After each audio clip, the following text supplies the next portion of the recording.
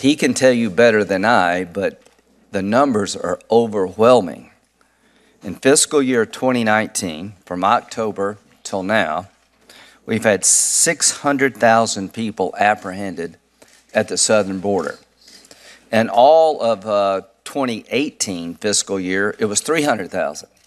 So we've doubled all of 2018, and we've still got months to go.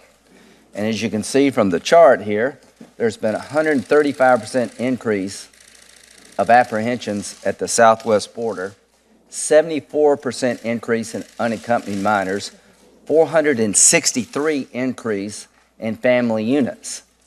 That doesn't include everybody. When you include everybody, is 144,278 in May alone. The total in FY19 is 676,315, which is double of what we did in 2018.